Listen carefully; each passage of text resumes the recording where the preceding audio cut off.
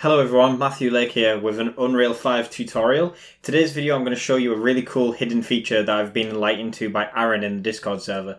This functionality basically allows you to run a function directly within the animation graph. Uh, so I've got the third person template here, there's nothing special going on and we're going to move directly into the animation blueprint. So if we make a new function over here, so let's just call it tutorial function, okay? And we're going to make it log string, okay? And I'm gonna go put hello tutorial. Okay, so now we've got this function.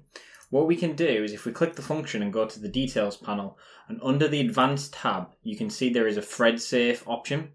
So this means it can run multi-threaded, and if we just compile that again.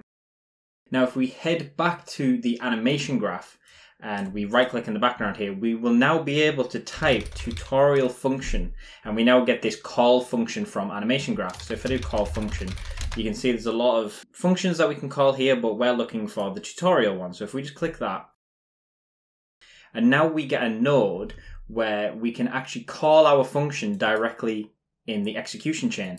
So if you click on this, we've got a few options. So there's things like um, on initialize, so run once, update, so it'll run like a tick. Uh, when it first becomes relevant, there's a, a variety of different modes that you can put it on here.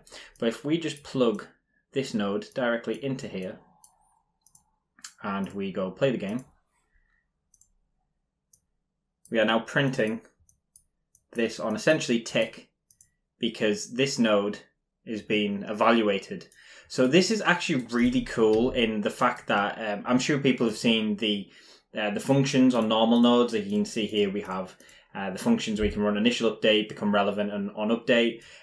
You can basically do that, but kind of not tied into a specific node. It's got its own dedicated node. So the benefits of this is you can do like a blend by bool, and for example, you could have that going to there and that going to here, and now this function will only run when it's false. And as soon as it goes to the other pathway, it won't run that function anymore, which is super powerful, super useful, and I, I, just thought more people needed to know about that, so I thought I'd make a quick video to share this amazing knowledge.